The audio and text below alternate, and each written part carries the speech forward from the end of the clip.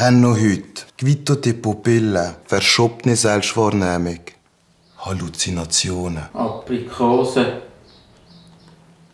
Das ist eine, eine richtige Sucht. Ich komme morgen wieder. Also, am Montag ist es wirklich am schlimmsten.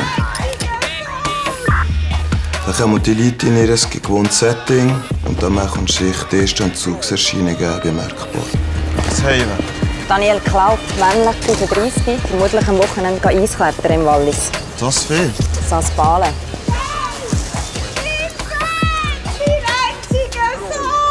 Im Nino Nieske habe ich schon gesagt, Freunde, das gibt ein wes Problem. Aber das Bären, haben sie mir alle noch ausgelacht damals? Der ist ja Reke. Was trinkt man dieser Sportart?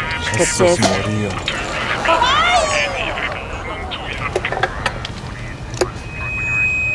Aprikose. Dicke, fruchtige Walliser Aprikose. Ich bin der Einzige, der das therapieren kann.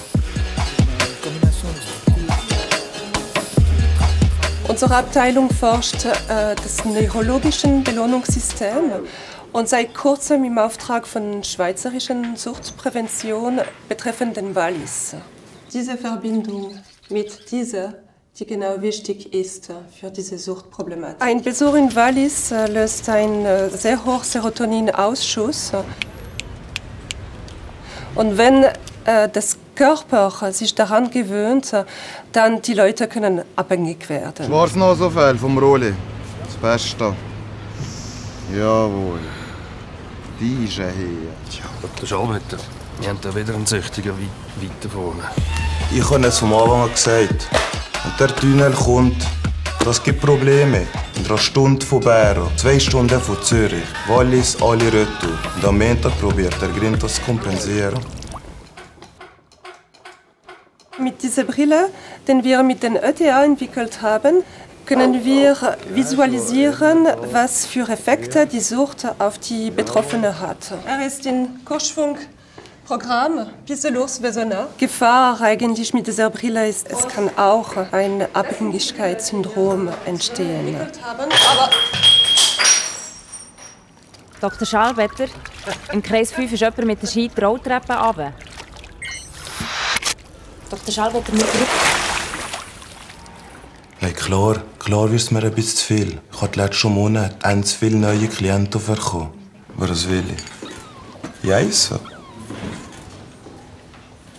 Ist mein Job.